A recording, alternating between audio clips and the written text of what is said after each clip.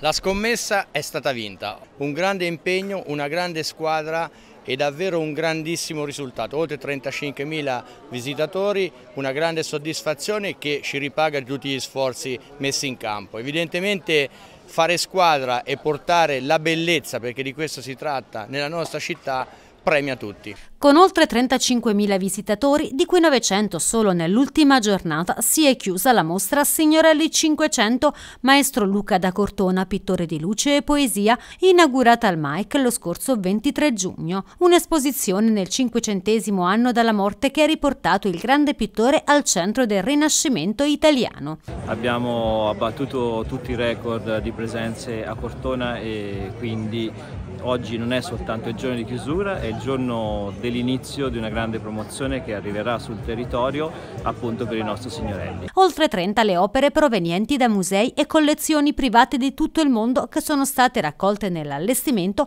al secondo piano di Palazzo Casali. È stata una bellissima occasione, una grande esperienza un grande lavoro di squadra.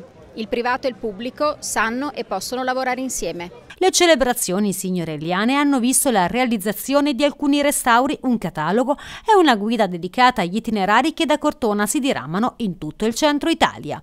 Siamo molto soddisfatti del, della, della riuscita che ha avuto l'idea di coniugare la mostra con la proposta di itinerari sia in città che sul territorio perché la nostra idea, il nostro intento è di non far spegnere le luci su Luca Signorelli, ma al contrario di fornire suggestioni perché tutti, residenti, turisti, vadano in cerca delle opere del grande maestro in un territorio così ricco come è quello della Toscana, dell'Umbria e delle Marche.